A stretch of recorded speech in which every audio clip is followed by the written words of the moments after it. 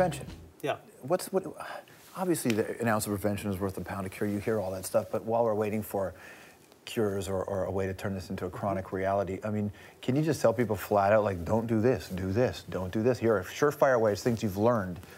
Well, the first five things I would say: don't smoke, don't smoke, don't smoke, don't smoke, don't smoke. That's really that, that really is, isn't it?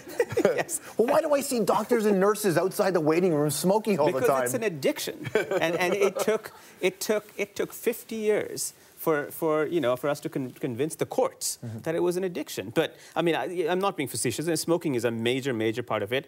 Diet has a small role for colon cancer. Yeah. Um, a small role? A small role, yeah. yeah. Uh, you know, but definitely a role. Um, you know, ionizing radiation, sun exposure, um, and then, you know, the, the, preventive screening has, has roles in, in all of this, uh, colonoscopies, mammograms.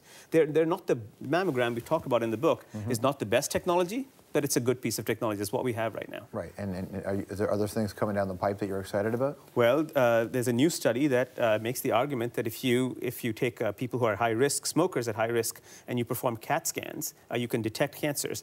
The problem is that if you, it's much actually for dollar for dollar, it's it's much better to knock the cigarette off the person who you see smoking outside yeah. than to perform a you know six thousand dollar CAT scan. but if that's what works, what, it's what works. Um, that would be amazing, eh? To start a random campaign instead of running for the cure, piss off smokers for the cure. Just start smacking shit out of their hands.